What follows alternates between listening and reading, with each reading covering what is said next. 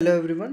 So in this video we will see how we can load the code dynamically in a Spring Boot project when we are using the IntelliJ IDE. So sometimes the dev tool doesn't work in the case of IntelliJ IDEA. For that let's go to the IntelliJ IDEA and here I have created one Spring Boot project here I have created one health controller and inside that one health API let's start this application. So I'll go to the learn spring boot application. I'll click on run.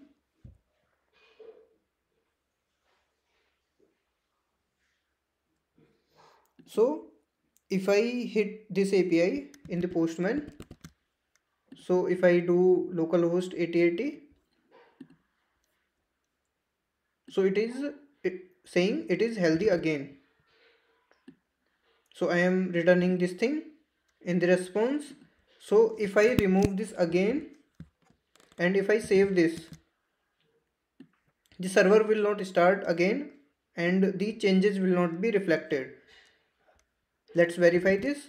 So if I go to the postman again now if I send the request again so you can see the old behavior is there in the response so for that what you need to do? You need to go to the top above section and inside that go to settings.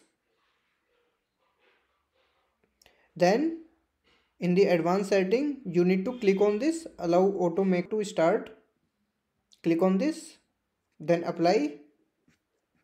Then go to the build and compiler then you will see this option build project automatically. Click on this and apply and then ok. Now if we restart the server so I'll stop and rerun.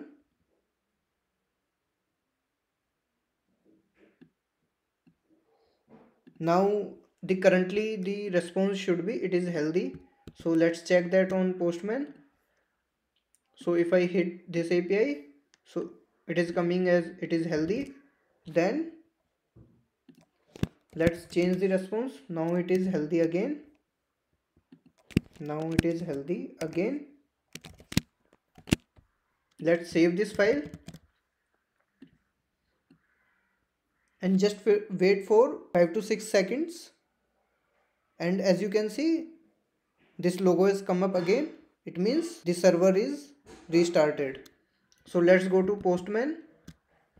Now if i hit the api again so as you can see the newer response is visible here.